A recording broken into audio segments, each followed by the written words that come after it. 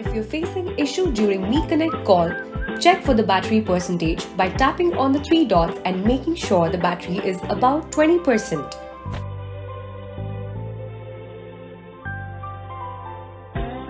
Then, click on the Wi-Fi option and check if the Wi-Fi connected is working.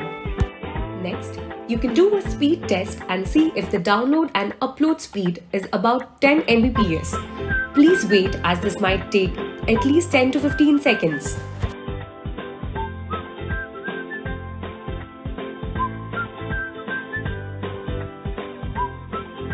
Visit Play Store or App Store and check if Miko 3 parent app is up to date.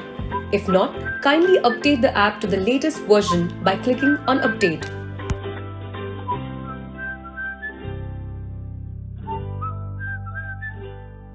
Finally, try logging out and logging in to the parent app.